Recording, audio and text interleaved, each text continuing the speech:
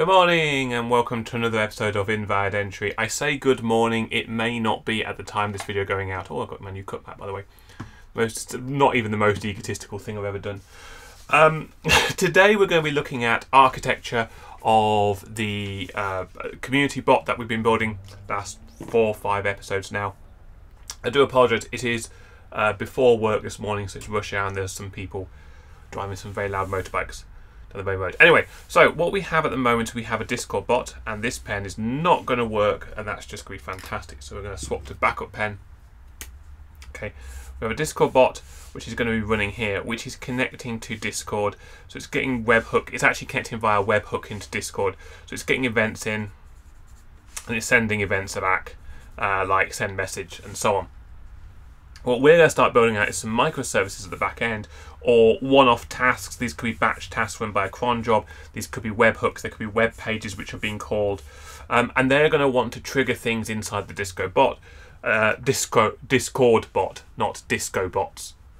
Don't make that. Oh, by the way, I'm on my Hyperdelic shirt, which is a very nice stripy shirt. And usually when you do a video call with me, the resolution is high enough that you don't get this effect. But but at this small resolution, it's really hypnotic. Like that. You see on the, this the overhead camera, it's not a problem at all. On this camera, it's like, yay. Okay. I apologise. It's morning. Anyway, I want these things to communicate with, with each other. And originally, I was thinking about running a web server. I have done that in the past, run a web server inside the Discord bot, so these things could call the web server. But decided against that. And instead, what I'm actually going to go for is I'm going to go for a Redis system in the middle. So Redis is like um, it's a key value store. It also allows you to do queues. It's like a multifunctional thing. So for a hobbyist, it's a great thing. So I don't need to run lots of things. I also have got a database, by the way. I've got my Maria database at the bottom. These are all probably going to be Django commands, but they don't have to be. But the idea is I can do something over here, like I can do some kind of NFT check here, which is going to message the Redis, and this is going to pull out of the Redis.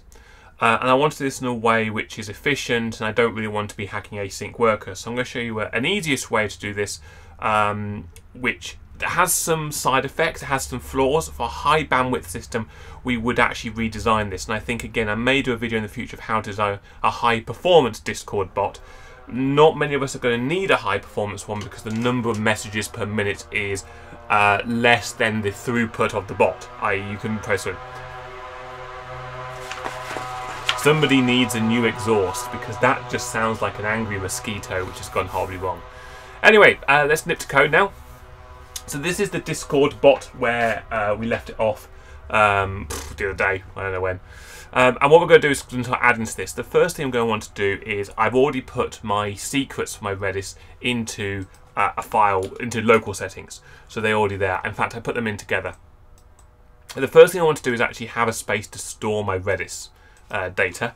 Um, and the way I'm going to do that is I'm just going to make, in the top of this file, I'm going to make um, a thing called Redis.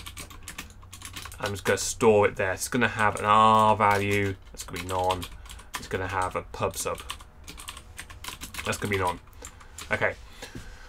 So in setup down here, I'm going to actually want to start setting up the Redis and make the Redis connection. So I'm just going to, I think I may have added some print lines in here. So by the way, those of you looking at the tabulate function, print commands actually is my is where I tabulate from the from the library of the day function.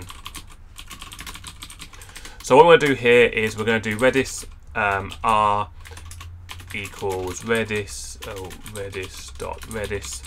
Now this is going to take the host. It's going to take the port.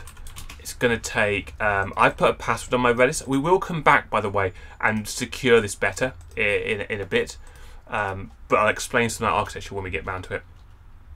It's going to take a password, and it's going to take uh, db equals naught for the moment. Just park it down. Right.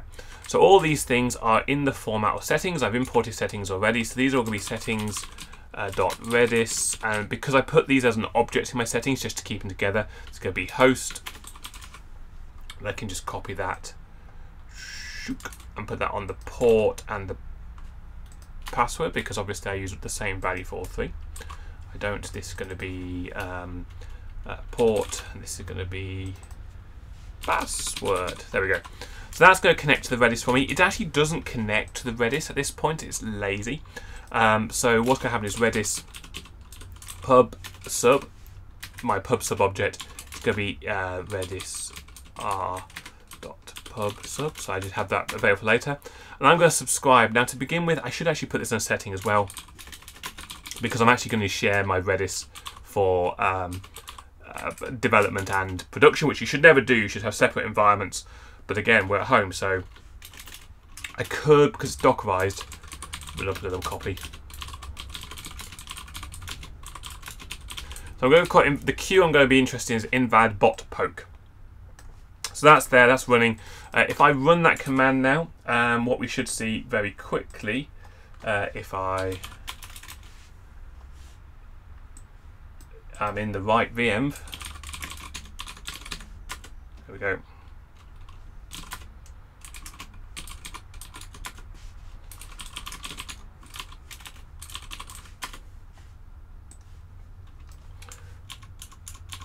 So it's connected to Redis, nothing's errored, that's all nice and happy. See that tabulate function there showing what commands have been loaded, just shows very nicely, very quickly without me worrying about lining functions up. I can see all these things are very nice there. This might get a bit bad if I get very long uh, regexes in here, but this working quite well for me at the moment, so I, I do like tabulate. Okay, so that's worked nicely. Uh, the next thing we need to do now is actually make actually start pulling messages from the queue. I could try and Hijack because I've got an async thing already running that's managed by Discord. I don't really want to be doing in there. However, Discord actually comes with a function for repeating tasks, which is really quite handy. So what I want to do at the top here is under Discord is to import or from discord.ext import tasks. And tasks in Discord are really powerful, really cool things. So what we can do here is task uh, dot loop uh, seconds equals 0.5 every half second. No, every uh, every five seconds because I don't need to be vague with this. Async, um, async def redis check. Now, excellent. So at this point, what we should be able to do is do message equals uh, redis pub sub which is that pubsub.get messages, get message, while message is not equal to none. If there's two messages in the queue, I don't want to wait another five seconds because I can put items on the queue faster than every five seconds. So message equals redis pub sub dot get message. That's just going to clear the queue out really quickly. Again, there's a potential DOS attack here where you could fill the queue up and therefore I'm going to stop responding to events. Uh, again, thinking about realistic of, of this is nice, easy code for to begin with, and we can come back and optimize this later on. Build your code um, to be working first. I will talk about some security. Um, uh, message. Message. Now, uh, the reason I put a little try in here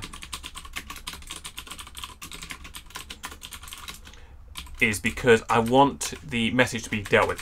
What we should really try and do is do await uh, client dot fetch user and then a user ID. Now, one of the challenges here is you can't do uh, dansan uh, hash, whatever my number is, uh, because that doesn't that doesn't actually work. You actually need to know the numerical IDs of the user, and I believe the user has to talk to you beforehand. So you have to know what that actually is, and it's a quite a long number. Um, so there's an issue with that. So, you, so you'd have to have stored those on your database on a previous time round. Um, and then once you have that, you could do user equals this and then user dot send or await hello. And that would send the user a message. Um, now, uh, I guess I guess my user IDs are going to be published at some point. So that's my user ID in there. So what we're actually going to do is grab that user and actually we're going to put that message in in the actual send. So it's going to send the message on the queue. So the moment there there is a bit of security in the Redis queue in that there's a password on the actual Redis, but there's no signing of the item, there's no signing of the token. The idea is to try and decouple the sending logic from the outbound logic, so that the sending logic basically, if I go back to my my thing here, this system fire and forgets into the Redis queue. It sends like a task into the Redis queue, which this thing picks off it knows it's going to Discord on the on the basis that it's adding it to the queue of uh, uh, in invalid entry bot poke. So it's going to say poke bot, and really what it needs to have in here is a bit more message which has like like a JSON block which has a, a type, and it's going to message who and it's got an object IDs, and it's got information about how to process that message. So we're going to be building that object out in future. This is just to prove the technology of the Redis. Uh, with all that in place, I'm going to uh, switch back to my view, kill that, run it again. And what you notice though is that actually uh, there is one thing I forgot. One thing I forgot, and I'm just going to cancel that. This isn't running. Okay, it's a bit of a weird one that if you do these tasks, if you do these client events, they start automatically. This hasn't actually run, and what you have to do is an extra line of code here, which is that function name fact, I'm going to put it after the runtime. Redis check dot start. Now, it seems weird that you're calling Redis check, which is a function. It's because it's not really this function anymore. It's being decorated by the task. There's other things you can do. You can actually do before loop and after loop as well, and you can put counter saying only run this five times, for example. But it, and it's quite interesting you can do this because it basically means you could do like try something five times, but you could start that trying it five times on the back of an event. So you don't have to do it on startup. You can actually start this loop whenever based on a command. You can stop it based on a command, um, which is quite interesting basis. So I can actually make a task to start and stop the async worker. Uh, and get maybe get statistics from the queue. So you can do more advanced things than just start it. But maybe you want to do a, a health check every five seconds. You could check whether you're connected every five seconds, deal with those situations when you're not. So I run this now. What should be happening is every five seconds that's going to check the queue. So we need to now push something onto the queue. Um, and I will do that now. Just checking I didn't have a password on my screen. So this is uh, a Jupyter notebook where I'm importing Redis. I'm importing my host and password here, so I'm not printing them off everywhere. And what we're going to do now is we're going to connect to Redis. We're going to just put some test data in the value just to make sure I've got a good Redis. This is the normal key value store Redis sort of functionality. So we're going to connect that. I'm going to put five items on the queue. Check my Discord is actually open here, uh, and he is.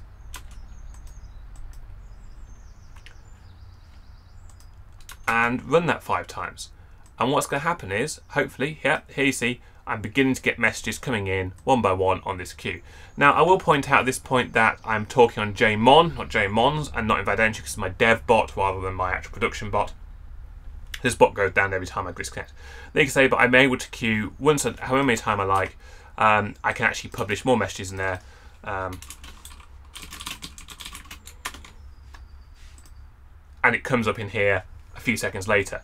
You will notice there's some extra data in here. There's things like the actual, um, which channel it came in from. Because you subscribe to a PubSub object, you could listen to multiple channels, and therefore you need, may need to know which channels come in from. These are binaries. You will have to convert those back into your, um, your strings. But that's it. That is, in effect, the entire um, framework for being able to asynchronously do something in an outside task and then send it to the, the Discord bot for processing. Um, so I'm going to evolve this a little bit more in terms of the the content of this message. This message is going to be a JSON object, which is probably going to be signed, I think. Um, but it's going to allow me to actually trigger events. You can use the same trick also with Pygame, so we probably have the big screen frame, which is currently turned off at the moment, where we can send events either from Discord um, or from uh, the, the, the individual microservices, cron jobs, whatever, into um, the big screen or vice versa. So you could put a message and have it appear on the big screen. I'm going to start tying those things together as, as completely separate processes which are decoupled except via a known interface. And this is the interface, is what's in this JSON becomes that interface, that object interface. So that's it for today. If you're enjoying this series, please hit like, please hit subscribe, and let me know in the comments if there's anything you want to see or any, any bit you want to talk about more. Um, I will be redesigning the wallet login uh, system uh, because I realised when I said, "Oh, there's no security hole. There's no there's no gain to someone giving me a false wallet." There is a gain to that, so I will be designing that, and that will also involve this Redis function as well. I think. Uh, so this is a nice little bit of framework. It's a nice bit of utility work, uh, and that is all that I've got for today. So thank you very much.